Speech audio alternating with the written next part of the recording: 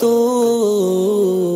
अस्सलाम वालेकुम वरहमतुल्लाहि हज़रत, जैसे हमने सुना है कि अहले सुन्नत से कि बद मज़हबों की किताबें हमें नहीं पढ़नी चाहिए।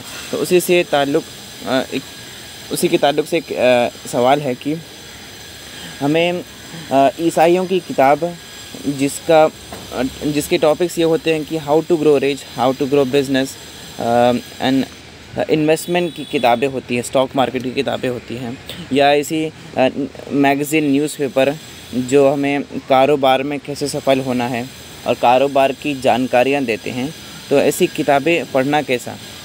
क्योंकि ये काफिरों की लिखी होती है तो जब वो कोई रेफरेंस अगर दें तो वो कुफरिया भी हो सकती हैं। और ये सब किताबें पढ़ने का मकसद अगर दीन की खिदमत करना हो तो ऐसी किताबें पढ़ना कैसा? और क्योंकि हम अमान मतलब अवाम में से हैं तो हमें कुफरिया चीज़ों की जानकारी ज़्यादा नहीं है। और और हमें ये पता नहीं होता कि ये इस किताब में अ, मतलब कुफरिया चीज़ें हैं या नहीं हैं? यहूदी राइटर की या किसी भी गैर मुस्लिम राइटर की बिज़नेस बुक होती है और बहुत सारी किताबें ऐसी होती हैं कि जो लाइफ स्टाइल के ऊपर जो है ना फ़ायदेमंद होती है या किसी पर्टिकुलर काम को लेकर कोई फ़ायदेमंद चीज़ होती है। मिसाल के तौर पे कोई किसी टॉपिक के ऊपर लिखी गई बुक है बिज़नेस से हटकर किसी टॉपिक पर सेल्स पर है मार्केटिंग पर है कोडिंग पर है या दूसरी किसी चीज़ पर लिखी गई बुक से तो उससे फ़ायदा उठाने में कोई ऐसी रुकावट वाली बात नहीं है। यानी अगर आप पूछना चाहते हैं कि शरीयत में इसकी कोई रुकावट है, कोई रुकावट नहीं। इल्म जो है वो मोमिन का खोया हुआ ख़जाना है। हुजूर ने फरमाया कि जहाँ से भी मिले उसको ले लो।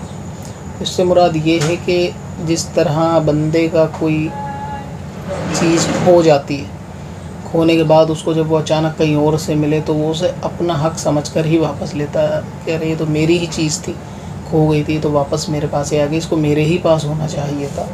तो इसी तरीके से आपको कहीं से अगर कोई ऐसा इल्म मिलता है, वो दुनिया का हो या दीन का हो कि जिसमें खिलाफ शरीयत नहीं होना चाहिए दुनिया के मामले में, और बाकी आपके फ़ायदेमंद है, आपके फ़ायदे के लिए है, उसे अपनाने में, उसको लेने में कोई हर्ज वाली बात नहीं होती।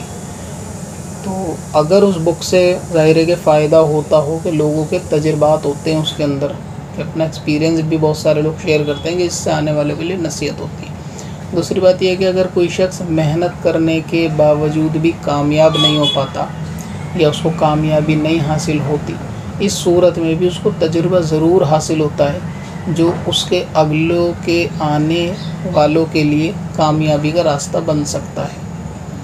तो ये चीज़ याद रखें कि अगर उस बुक से फ़ायदा है वाकई में, और उसमें कोई दीन, नया दीन सिखाने वाली है दीन से रिलेटेड कोई बात ही नहीं, वो एक दुनिया की बात है बिज़नेस की बात है, या मोटिवेशनल के रिलेटेड कोई ऐसी बात है कि जिससे बंदा मोटिवेट हो जाएगा पढ़ने के बाद, या उसको कोई तजर्बा मिल जाएगा तो उसको पढ़ा जा सकता है।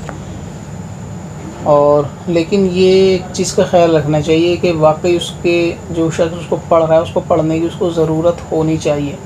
फ़कत ऐसा नहीं होना चाहिए कि उसकी एक हैबिट है रीडिंग करने की और बाकी ज़रूरी काम छोड़ के वो इसमें हैबिट या फिर उसको टाइम पास करने के लिए कोई बुक चाहिए और उसने कोई बुक उठाई और पढ़ के टाइम पास कर रहा है तो इससे दो ख़राबियाँ हो सकती हैं।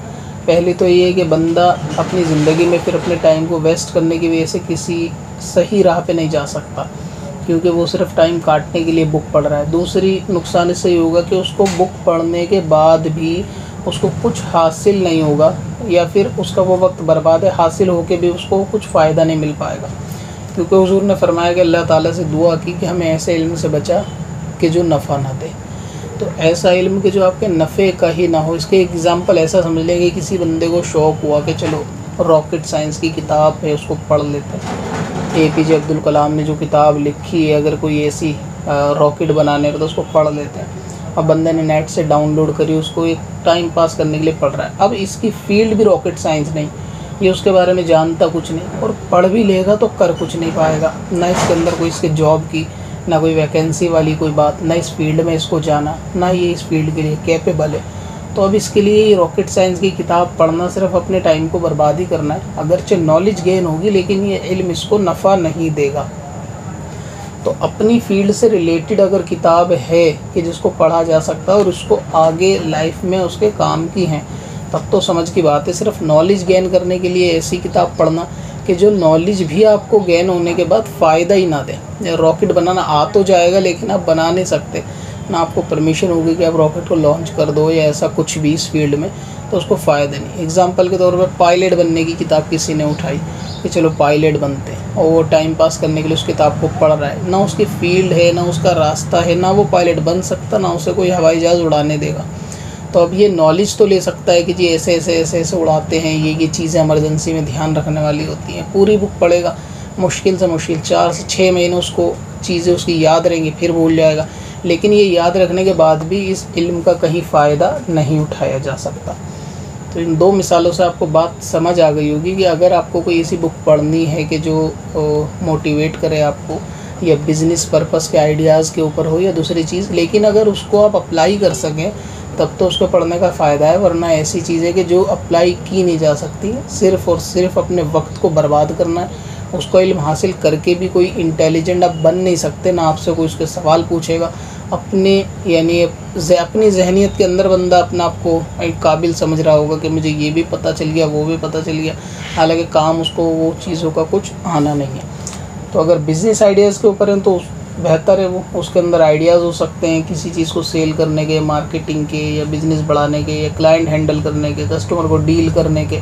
उससे उसको आइडिया मिलेगा अपने बिज़नेस का तो वो चीज़ अप्लाई हो सकती है। तो ऐसी किताब है कि जो ज़िंदगी में कुछ आपको फ़ायदा दे, पढ़ के अप्लाई कर सकते हैं, आप उसके रूल रेगुलेशन को प्रैक्टिकली कर सकते हैं और लाइफ को आगे बढ़ाने में उसका फ़ायदा उठाया जा सकता है, उसके तजुर्बात से सीख सकते हैं। बेहतर है फिर उसको पढ़ा जाए फालतू टाइम वेस्ट करने के अलावा और फ़कत तफरी टाइम पास के लिए फिर बेकार किताबें पढ़ना क्योंकि उससे हासिल उसको कुछ होगा नहीं। तो इस तरह से आप देख लेंगे जो किताब आपको पढ़नी है, आपके लिए क्या फ़ायदेमंद है।